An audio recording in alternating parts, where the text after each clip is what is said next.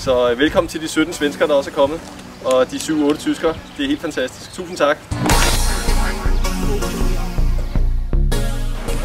Hvordan går det?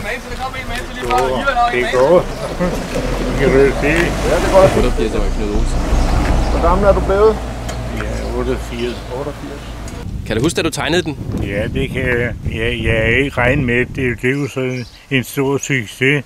Men det er skyld, det blev lanceret over det hele.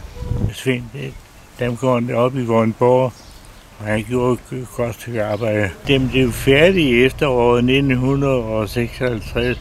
Jeg var ude og sejle i fem minutter, og så, ja, så var det godt alt sammen. Men øh, det giver, det, det giver jo ikke nogen penge.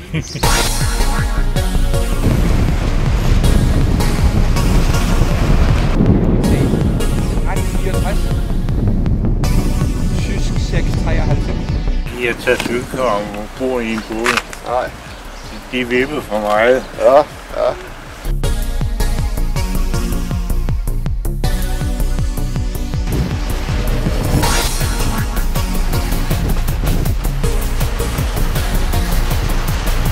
Jeg er mest af hårdt vejr. Jeg kan bedst lide at hænge. Jeg bliver bare forvirret i det let vejr.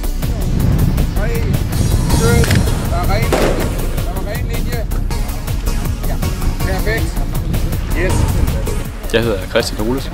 Kommer fra Kalundborg Sejlklub. 117. Tysk 672, dansk 13, hvad pokker var det?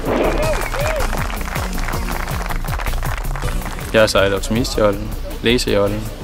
Jeg startede den i OK-jollen for to år siden.